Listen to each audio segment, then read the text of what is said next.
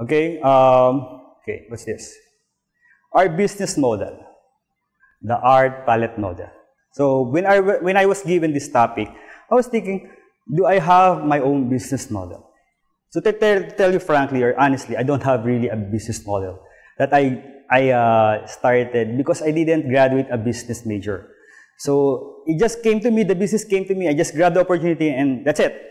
I just work out on the structures and everything and and, and trying to work on this uh, uh, business models also important. So because I'm an artist, I would like it to be something that will represent who I am. Okay, so this is a sample of a palette pizza. I made it by myself. I'm also doing the pizza.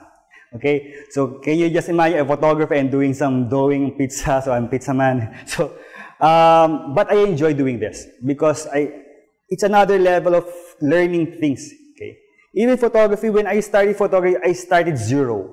I know nothing about photography.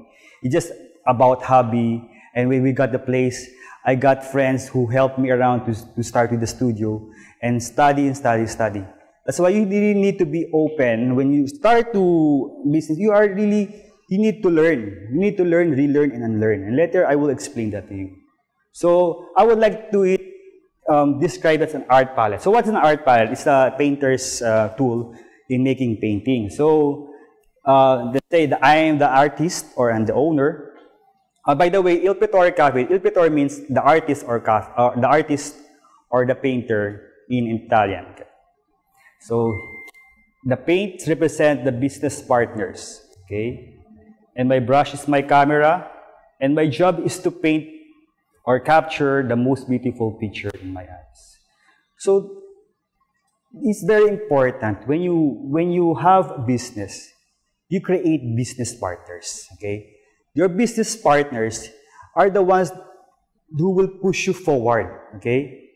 For my six years, or we're turning seven this year, that's why we're excited to, to do uh, a uh, anniversary something for the next year, for our uh, launching for our seventh year.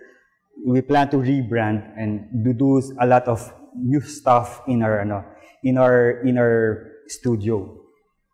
So, six years, I have business partners. I have was created to create my teams. Okay? Most of my um, teams are all outsourced. Okay? I was develop it with, uh, I was able to develop relationships, friendships with, uh, during my shoots, getting to know different cameramen or videographers, photographers, coordinators, organizers, these people will help you grow your business. Okay?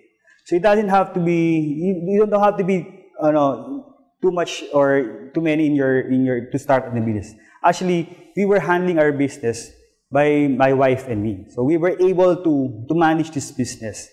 Uh, especially, it's located in, uh, in our place, in our house. So just imagine we're having a business in our own house how fun it is, no? Though it's kind of really sometimes stressful also because you're, you're with your wife and your family, but it develops a good relationships with a good uh, structures in your family.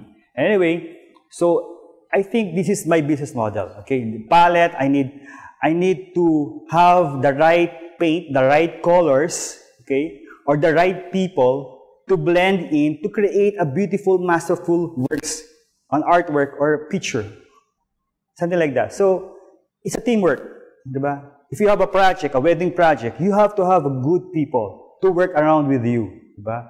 People who you could depend on, people you could trust, people who are very good it comes with relating with people and at the same time uh, with their with their craftsmanships in photography or in video, something like that.